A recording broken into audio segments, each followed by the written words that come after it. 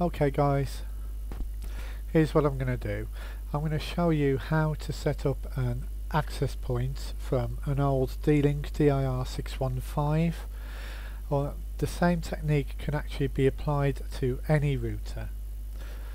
Okay, what I have on my network is I have a super hub which is normally on 192.168.0.1 and I've disconnected my PC from the superhub and connected the D-Link to the PC via one of the Ethernet ports. So the first thing I'll do is log in to my D-Link. As you can see I'm currently not connected to the internet. That's quite deliberate. So we'll go 192.168.0.1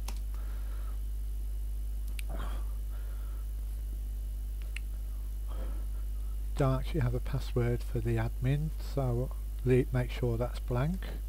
If you've uh, changed your username and password then obviously use the correct username and password for your account. Right.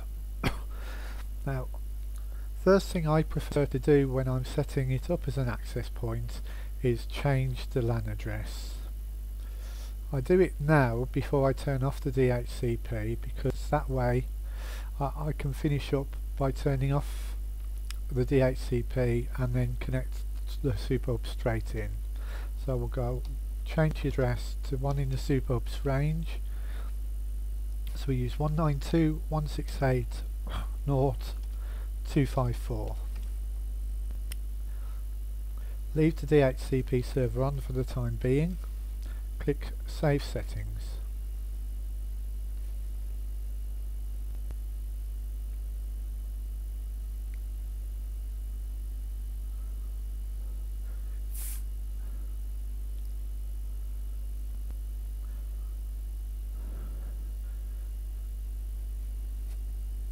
Now we've changed the LAN IP, we'll click that to go into the new address and again we'll go to admin and login.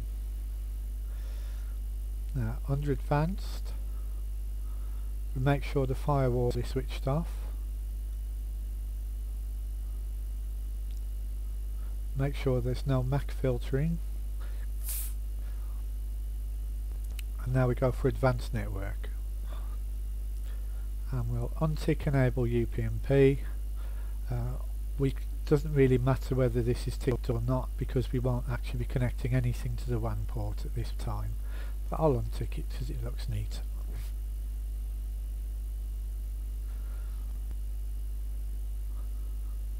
So again we'll save that. So next we'll go back to the main screen back to the LAN setup. And this will be the last thing we do at this point. We'll tick untick enable the DHCP server. This will turn off all the routing features of the the D-Link DIR615 and basically turn it into a switch with a wireless access point. So now we'll save it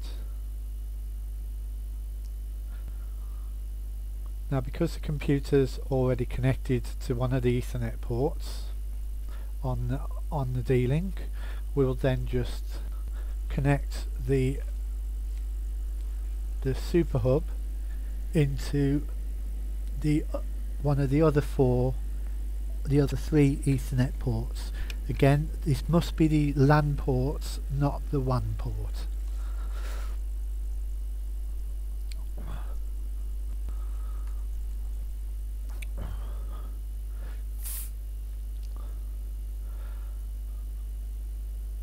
Now from command window. We need to clear. We'll do an ipconfig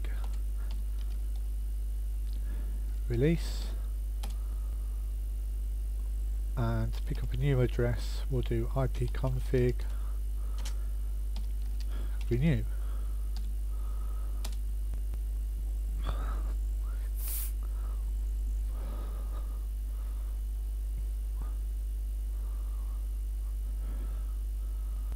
and there we go we now have our address from the superhub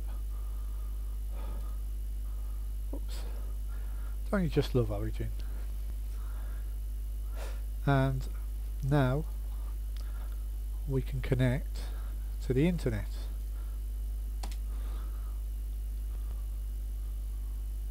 We hope. There we go.